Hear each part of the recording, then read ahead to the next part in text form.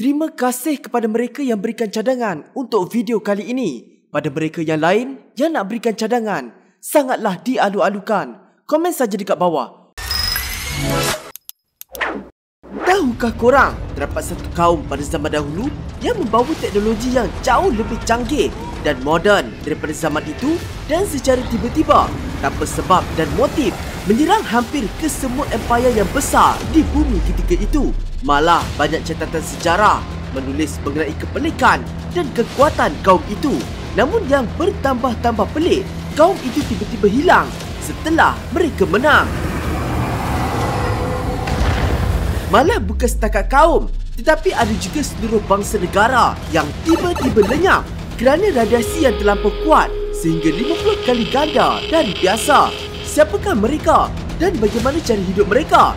Adakah benar seperti yang diviralkan di media sosial? Jadi dalam video kali ini, jom bersama Faktau kita bongkar rahsia misteri tentang 10 bangsa yang tiba-tiba hilang secara misteri. Eh, eh, eh, sebelum tu jangan lupa subscribe Faktau tau dan jangan lupa tekan loceng.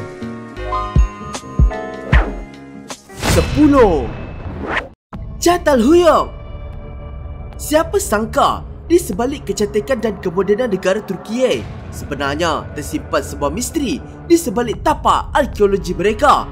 Apa yang korang nampak ini sebenarnya merupakan bekas tapak peninggalan bangsa Çatalhuyuk iaitu bangsa yang wujud 9500 tahun dahulu. Bangsa ini terkenal dengan seni binanya yang sangat-sangat kompleks seolah-olah seperti sarang lebah di mana tiada jalan dibuat tetapi setiap rumah bersambung antara satu sama lain. Namun apa yang mengejutkan Hasil kajian mendapati setiap rumah mempunyai bilangan barangan yang sama di mana pengkaji percaya kerajaan mereka mengamalkan sistem sama rata. Tiada yang terlebih kaya dan terlebih miskin. Malah terdapat juga hukuman yang akan dikenakan kepada sesiapa yang melanggar sistem ini. Tapi bandar ini hanya didiami selama 1150 tahun dan mula terbiar pada tahun 5950 sebelum Masihi. Ke mana mereka menghilang? Apa sebenarnya yang berlaku kepada mereka? 9. Indus Valley Civilization Indus merupakan sebuah bangsa purba maju yang wujud ketika zaman Gangsa di Harappa, Pakistan. Mereka ini dipercayai sebagai antara bangsa purba yang terbesar dalam sejarah meliputi luas kawasan 1 juta kilometer persegi dengan populasi selama 5 juta orang jika digabungkan tamadun yang wujud pada masa itu iaitu Mesopotamia, Mesir Purba dan China Purba bangsa Indus jauh lebih besar. Namun yang peliknya, bagaimana bangsa yang begitu besar dan maju ini boleh hilang dalam sekelip mata pada tahun 1300 sebelum Masihi? Pelbagai teori cuba diketengahkan para pengkaji seperti perubahan cuaca iklim ataupun mereka dilanda wabak yang sangat dahsyat seperti Black Death. Tapi semua teori itu berubah apabila pada tahun 1922, ahli arkeologi telah menjumpai lebih 40 tulang tinggalan manusia di bahagian bawah tapak penggalian dalam posisi yang sangat pelik seolah-olah mereka kehilangan nyawa secara tiba-tiba. Malah pada tahun 1977, sekali lagi mereka dikejutkan dengan penemuan banyak batu-batu yang telah cair di mana proses ini hanya akan berlaku di bawah suhu yang sangat tinggi dan mereka juga mendapati radiasi tanah di sana 50 kali ganda lebih tinggi dari biasa. Adakah mereka telah dimusnahkan oleh letupan yang sangat kuat seperti nuklear perkara ini terus menjadi misteri hingga ke hari ini. 8.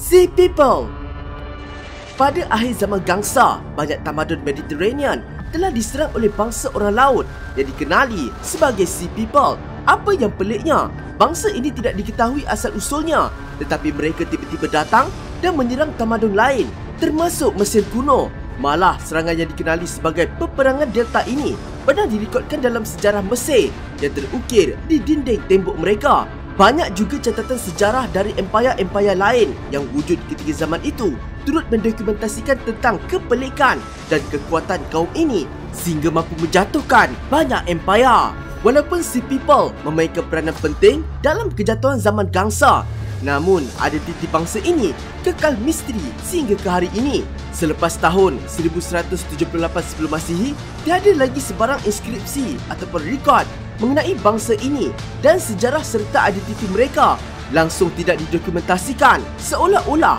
mereka terus lenyap daripada dunia.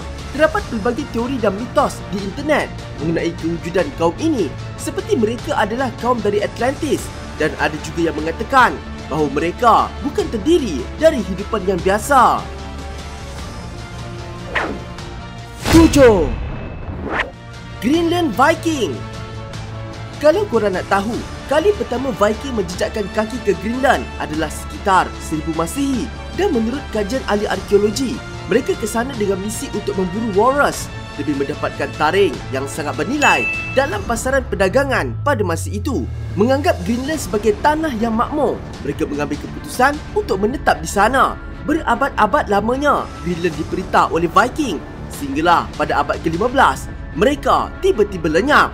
400 tahun kemudian, orang Eropah mula sampai ke Greenland dan mereka mendapati hanya terdapat barang-barang peninggalan Viking namun tiada langsung jejak manusia ditemui.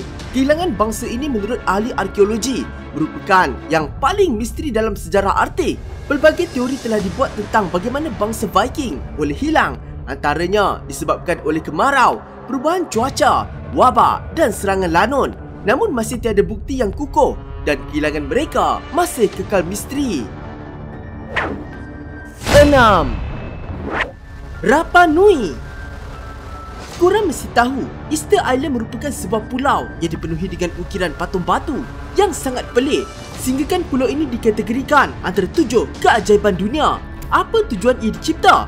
Faktor ada terangkan sebelum ini dalam video sebatas mungkin bertajuk Misteri Easter Island yang tidak dapat dirungkai sehingga kini.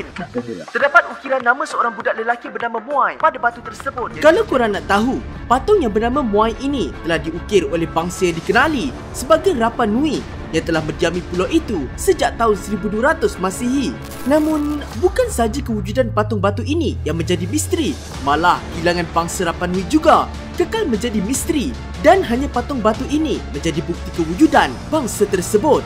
Antara teori yang diketengahkan sangat tragis apabila bangsa ini berkembang pesat, banyak pokok telah ditebang sehingga mereka kekurangan bahan untuk membuat bot dan terperangkap di pulau itu. Sumber makanan di pulau itu mula habis dan mereka mula menjadikan antara satu sama lain sebagai makanan. Malah ketika orang Eropah menemui pulau itu pada abad ke-18, tiada seorang manusia pun dijumpai dan yang tinggal hanyalah ukiran patung batu. 5.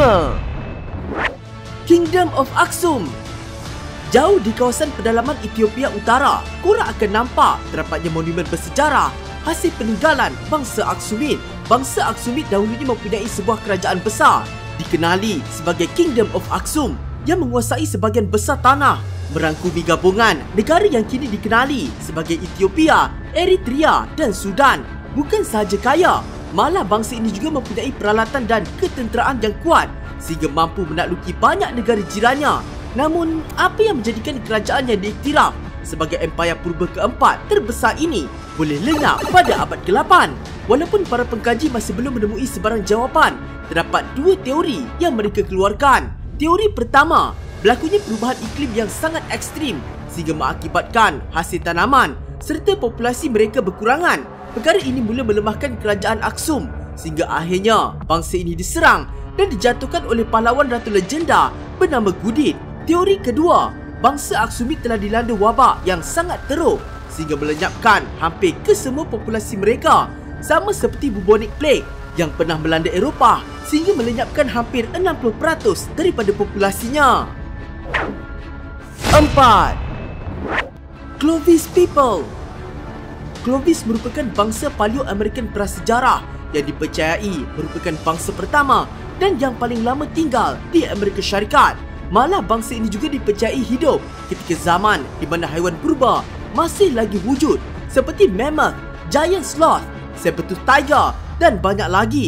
Hasil kajian daripada ahli arkeologi mendapati mereka hidup sejak 13,000 tahun dahulu iaitu ketika penghujung zaman AS. Tapi, apa sebenarnya yang menyebabkan bangsa ini lenyap begitu sahaja?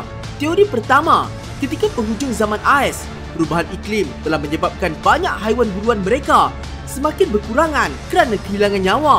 Ini menyebabkan mereka mula kehabisan sumber makanan dan akhirnya bangsa mereka pupus begitu sahaja.